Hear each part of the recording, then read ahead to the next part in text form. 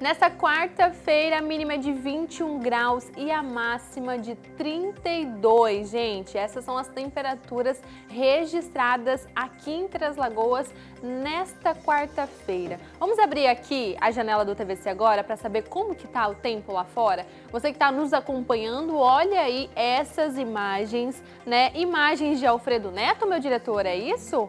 Do nosso repórter cinematográfico, trazendo aí imagens da natureza, do nosso cartão postal, aproveitando aí, né, esse dia de temperaturas baixas no começo do dia, mas à tarde a gente sabe que faz calor.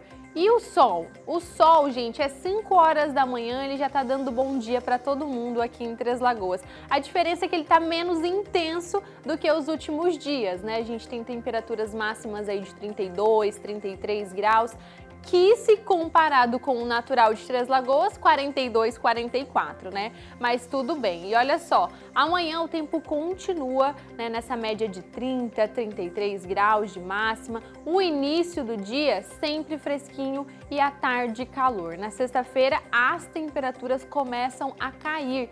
Será, gente? Será que Três Lagoas vai ser beneficiado com esse frio? Vamos acompanhar, né? Vamos saber primeiro as temperaturas de amanhã e amanhã eu volto aqui para falar para vocês do final de semana. Para muita gente que não gosta de frio, não tá gostando, né? Não quer nem saber desse friozinho. Mas tem gente que tem um evento aí nesse final de semana para falar de temperaturas baixas.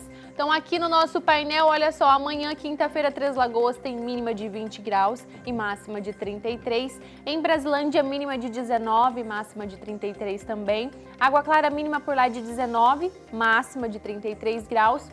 Em Aparecida do Taboado, mínima de 20, máxima de 32.